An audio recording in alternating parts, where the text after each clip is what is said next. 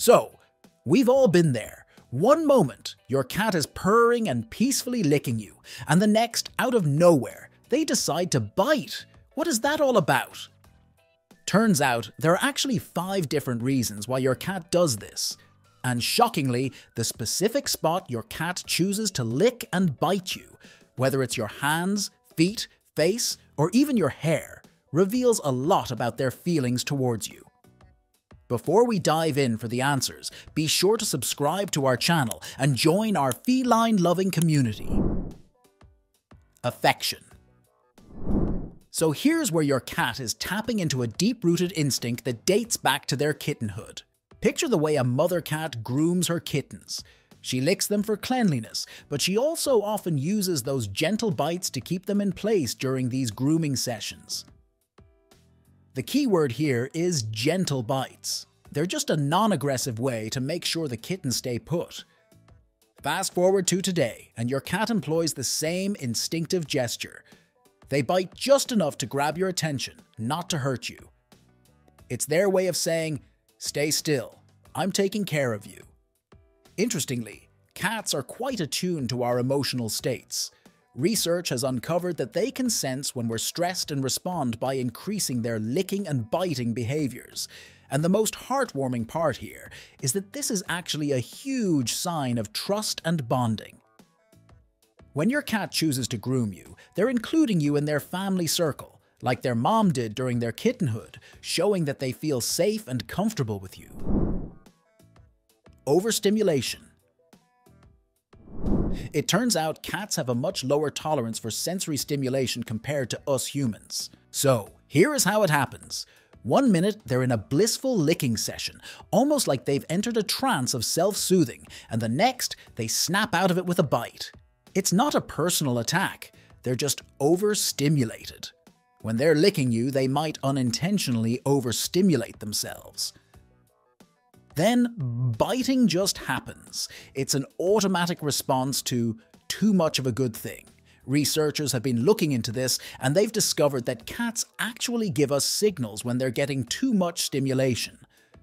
Before they resort to biting, they will usually twitch their whiskers or flatten their ears. Surprisingly, cats that were separated from their mothers too soon tend to have a lower threshold for touch. This early experience can make them more prone to overstimulation biting. It's as if they missed out on some crucial lessons in how to chill. You taste good. So this one might sound a bit weird, but cats are drawn to the taste of human skin. Yes, our sweat is like a gourmet snack for them, thanks to its saltiness. And it's not just your skin they're after.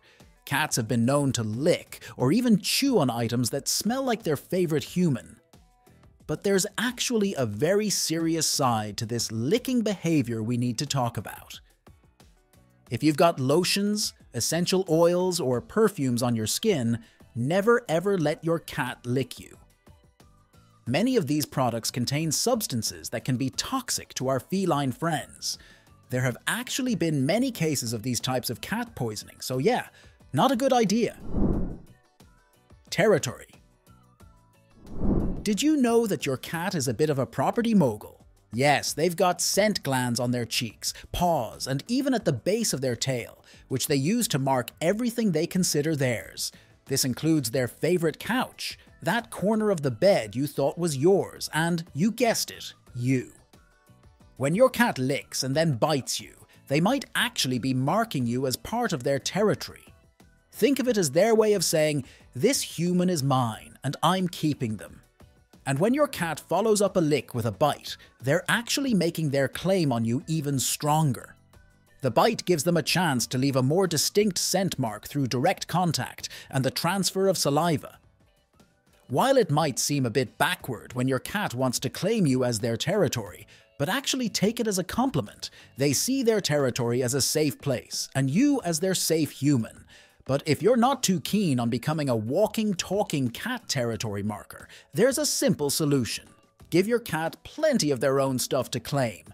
Cat trees, toys, comfy beds, you name it. This way, they can satisfy their need to mark territory without turning you into a human scratch post. Play.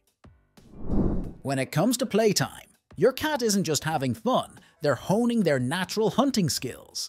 That gentle or not so gentle bite you get during a play session. It's actually a critical part of their development. Researchers have found that play-induced bites help kittens and young cats develop their coordination and understand social boundaries. But here's a bummer. Not all cats grow out of this playful biting. In fact, a lot of adult cats keep their kitten-like zest for life, continuing to use biting as a way to play. They're not trying to hurt us, they simply haven't realized that what's fun for them might be a bit painful for you. What your cat's bite place reveals about their feelings towards you. Ever noticed where your cat chooses to nibble on you?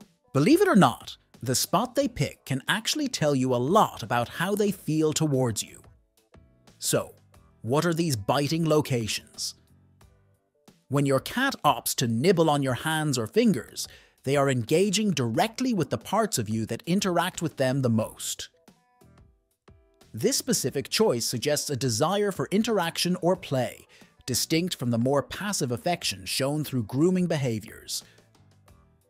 Moving to the face, particularly when your cat focuses on your nose and cheeks, the message deepens.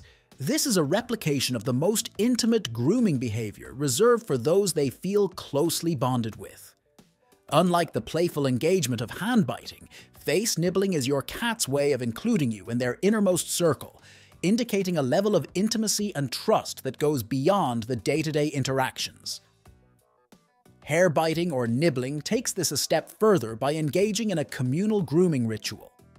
When your cat grooms your hair, they're actively participating in a behavior that, in the wild, strengthens the social bonds within the group. It's a clear signal that they view you as part of their family. Lastly, when it comes to biting at your feet, it stems from a blend of curiosity and affection. Feet are often less accessible and represent a different form of exploration for your cat. This behavior might still be about testing boundaries or showing affection, but it's also heavily influenced by curiosity and the unique sense and taste that your feet carry. It's a more exploratory behavior, showing that your cat is comfortable enough to investigate every part of you.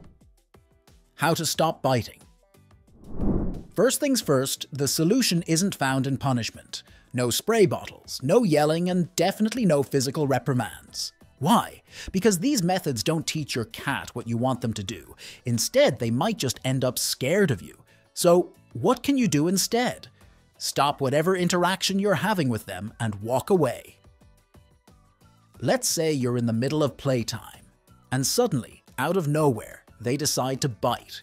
Instead of reacting negatively, just end the game. Cats are smart, and they're great at picking up on patterns. If biting means the end of fun activities, they'll start to put two and two together. Bite my human? There goes my playtime.